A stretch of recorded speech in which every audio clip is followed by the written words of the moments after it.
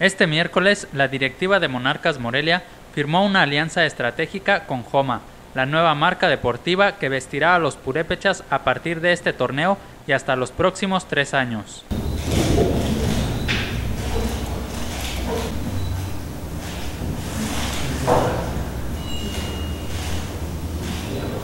La marca española Joma Sport fue fundada en 1965 por Fructuoso López y es una firma que viene teniendo una importante presencia internacional que ahora busca presencia en México. El estar ahora con Monarcas es porque consideramos que es uno de los grandes equipos de aquí de México y como, como Joma es una gran marca también a nivel internacional, queremos también aquí en México estar presentes. Gabriel Saucedo Torres, director general de Monarcas, dijo que lo que les atrajo fue la calidad de la ropa deportiva, pues es de primer nivel tienen una idea de expansión que nos atrajo.